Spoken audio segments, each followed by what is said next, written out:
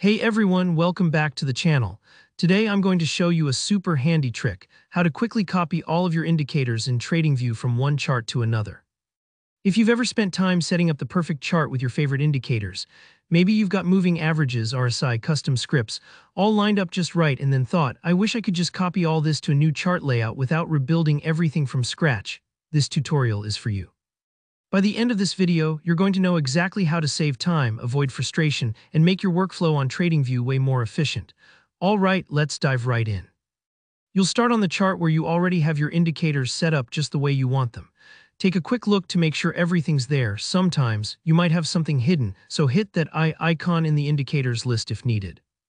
Now up at the very top of your TradingView window, you're going to see a button called Indicator Template. Go ahead and click on that.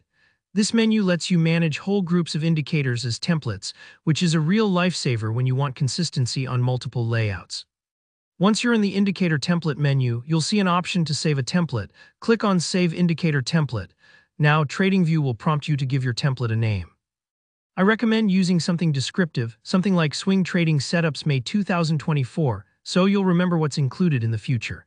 Hit Save and TradingView locks in not just the indicators themselves, but also most of their settings.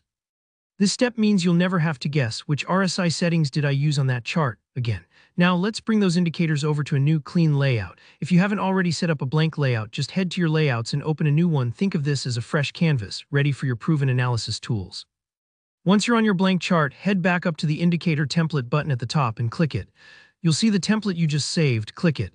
Instantly, all the indicators and their settings from before will load onto your new chart. It's almost like recasting a mold rather than sculpting from scratch. But here comes a little extra, slightly trickier part, copying over drawing objects like trend lines, shapes, or notes that you might have added. TradingView keeps indicator templates and chart objects separate, so we need to bring these over manually. To do this, head back to your original chart and look for the object tree. Usually it's on the right side or you can find it under this or right-click menu. The object tree is a bit like your toolbox, listing every drawing and annotation on your chart. Here, you'll need to select the objects you want to copy one by one. I know it sounds tedious, but unfortunately, TradingView doesn't currently support selecting everything at once. Just take it slowly, and if you have a lot of objects, don't worry, think of it like packing up only your most prized possessions to take to a new place. Once you've selected an object, right-click on it and choose Copy.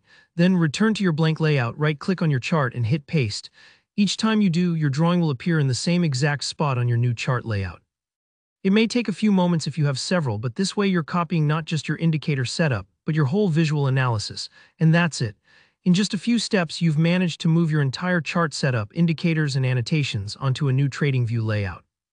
No more wasted time redoing work, and you can experiment with new ideas knowing you can always get back to your favorite setup. If you found this tutorial helpful, go ahead and give the video a thumbs up. It really helps the channel out. If you have any questions about TradingView, or if you ran into any hiccups along the way, drop a comment down below and I'll do my best to help you out. And of course, if you want more tutorials like this, don't forget to subscribe and hit the notification bell.